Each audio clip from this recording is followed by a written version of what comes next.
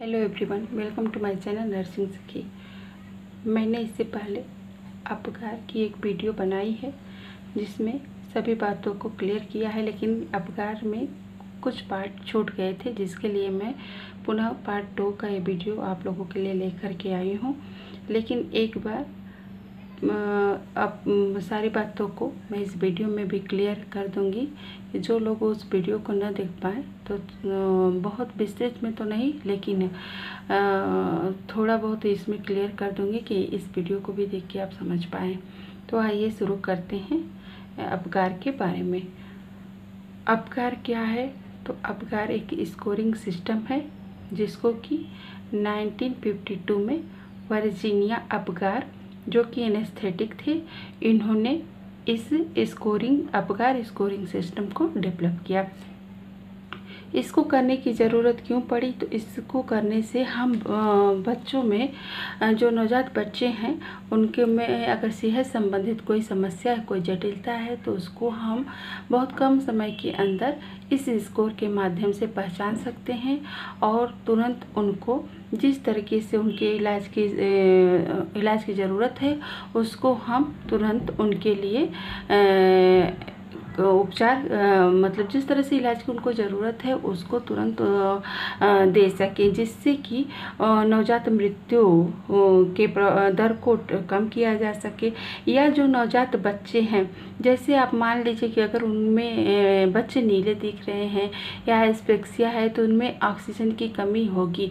तो अगर हम जल्दी से उनको ऑक्सीजन की उपलब्धता नहीं उपलब्ध करा करके और उनको ट्रीटमेंट देंगे तो ऐसे बच्चे बच्चों के बहुत सारे सिस्टम फेल होने की संभावना हो जाती है, जैसे कि ब्रेन लंग्स किडनी या यहाँ तक कि वो विकलांग भी हो सकते हैं। और जो, बहुत सीवियर हुआ तो उनकी मृत्यु भी हो सकती है। तो ऐसे सभी जटिलताओं को दूर करने के लिए हमें अपगार स्कोर स्कोरिंग सिस्टम की ज़रूरत पड़ी, जिसको कि 1952 में वर्जीनिया अबकार ने डेवलप किया। अब इसकी स्कोरिंग के माध्यम से हम कितने अंग, बच्चों के सिस्टम कितने अंग कार्य कर रहे हैं कि नहीं हो या उनके सिस्टम ठीक ढंग से काम कर रहे हैं, उसमें कौन कौन से सिस्टम को जान सकते हैं? तो हार्ट सिस्टम को लंग्स और इन तीन सिस्टम जो कि इस अपकार स्कोरिंग सिस्टम के तहत देखे जाते हैं तो इससे हम जान सकते हैं कि बच्चा जो है वह स्वस्थ है या उसमें कोई जटिलता है या उसको तुरंत इलाज की ज़रूरत है। और इसमें जो स्कोरिंग करते हैं, वो ज़ीरो वन और टू यानी केवल ये तीन नंबरों से स्कोरिंग करते हैं।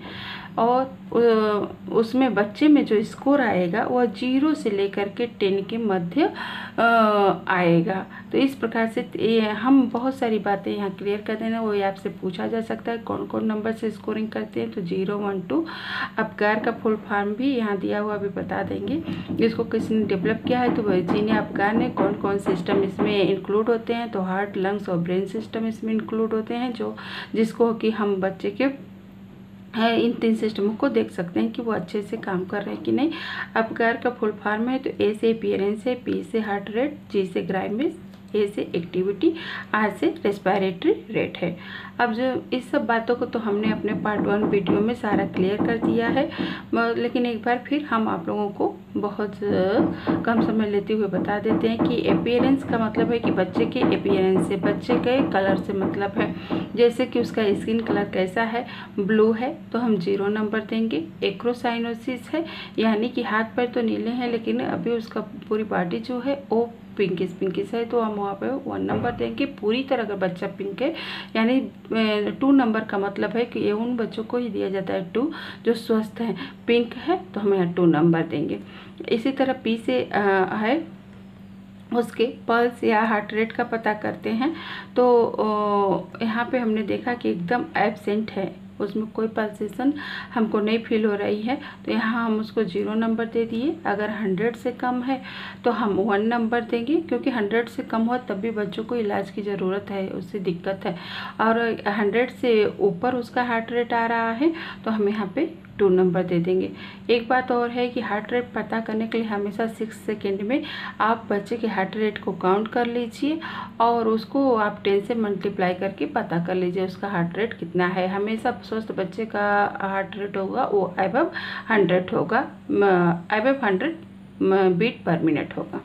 सी से ग्राइमेस होता है, जैसे मुँह बच्चे का मुँह बनाना कहते हैं, जैसे रोने के लिए पूरा अपनी चेहरे को जो बनाता है उसके वही रिफ्लेक्सेस देखने के लिए ही ग्राइमेस होता है। कहीं भी आप उसको पिंच करेंगे तो वो बच्चा पूरी तरह से आपको एक प्रतिक्रिया देगा।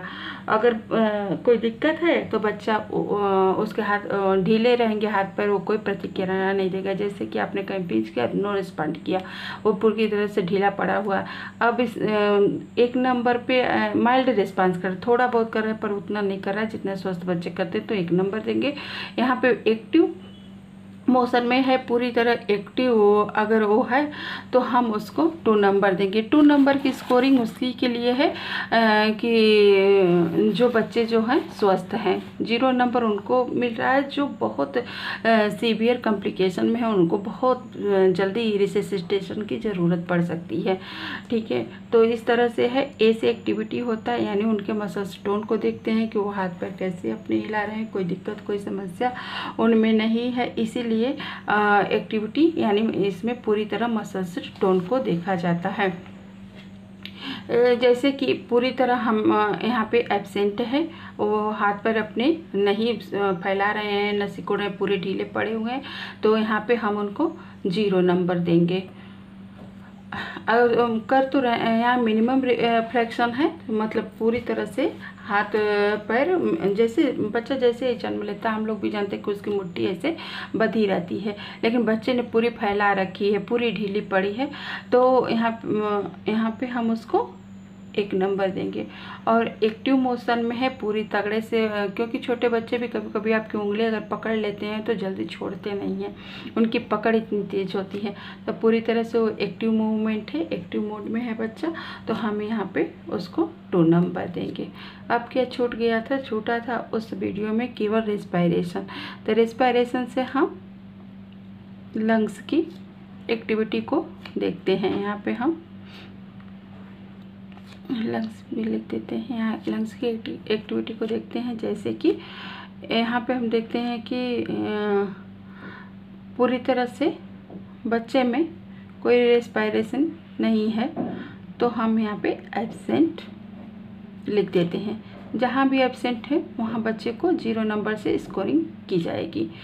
और अब बच्चे तो सांस ले रहा है, लेकिन वो क्या कर रहा है कि रोक रुक के सांस ले रहा है।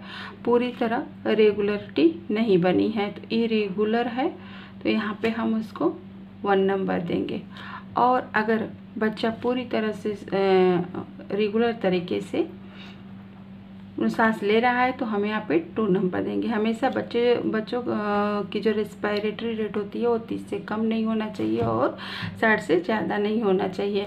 उसको अगर ऐसा एबसेंट है, ये रुक रुक के सांस ले रहा है तो एक नंबर रेगुलर है तो टू नंबर तो हमने देखा कि जब बच्चा पूरी तरह स्वस्थ रहा है, तभी टू नंबर से यहाँ स्कोरिंग की गई है।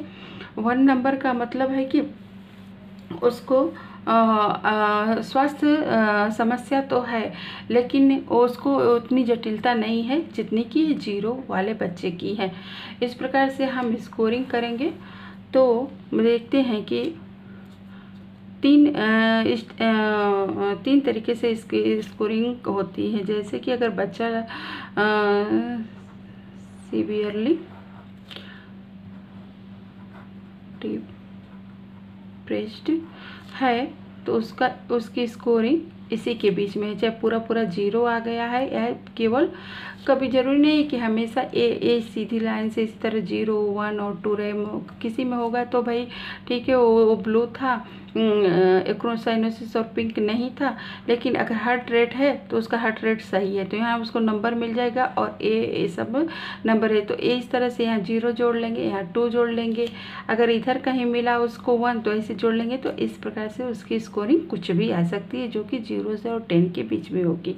तो ज़ीरो से अगर थ्री मिला है बच्चे को तो सीवियरली डिप्रेस्ड है। उसको तुरंत रिसेसिटेशन की ज़रूरत है। बच्चे को तुरंत एम्बो बैग से अब उसको ब्रीथ दे ऑक्सीजन दे और जो भी रिसेसिटेशन की प्रक्रिया है, पूरी तरह से उसको फॉलो करें।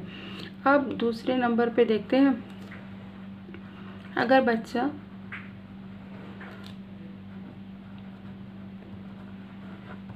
मॉडरेटली डिप्रेस्ड है डिप्रेस्ड है तो अगर इसके बीच में स्कोरिंग उसकी आती है तो माना जा रहा है कि बच्चे को दिक्कत तो है, उसकी सेहत संबंधी दिक्कत है, पर उतनी नहीं है जितनी इस बच्चे को थी।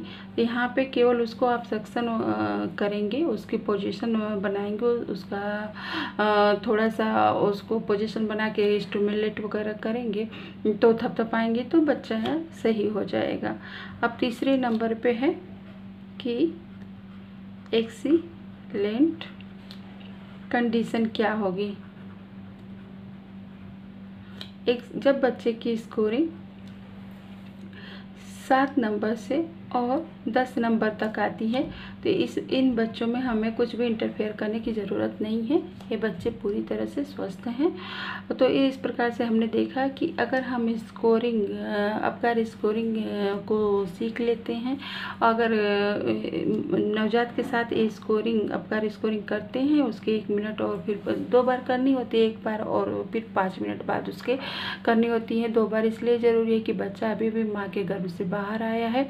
तो एक मिनट में हमने किया तो उसे हर पाँच मिनट पे ऐसे थोड़ा देखने की ज़रूरत होती है, क्योंकि बच्चे के लिए क्रिटिकल समय फोर्टी एट आवर्स होता है। जब तक कि वो पूरी तरह से सारी प्रक्रियाओं को अपने कर न ले तो अब तक उसको ऑब्ज़र्व ही किया जाता है, चाहे यूरिन पास करना हुआ टॉयलेट पास करना हुआ, या उसके रोने की जो प्रक्रिया है, दूध को सकिंग करने की प्रक्रिया है तो ये सब चीज़ों में देखा जाता है। तो इसीलिए forty eight hours Pune hospital में इसके लिए स्टे रहना चाहिए। तो उसके बाद ही डिस्चार्ज करने की प्रक्रिया है ताकि इन सब बातों को इन फोर्टी एट आवर्स के अंदर हम देख सकें और पूरी तरह से कंफर्म हो कि बच्चा स्वस्थ है, उसकी सेहत अच्छी है, तभी हम उसको डिस्चार्ज करें। तो इस तरह से हमने जाना स्कोरिंग सिस्टम कितना लाभप्रद है ताकि बच्चे का बिल्कुल समय नष्ट न करते हुए और हम इसको करें और बच्चे को जिस हिसाब से स्कोर आते हैं, उससे संबंधित उसको केयर के उपलब्ध कराएँ। आप सभी का बहुत बहुत बहुत धन्यवाद। अगर वीडियो थोड़ी भी आप लोगों को यूजफुल लगती है तो आप ज़रूर उस पर कमेंट करें और लाइक करें शेयर करें सब्सक्राइब करें। आप सभी का बहुत बहुत धन्यवाद।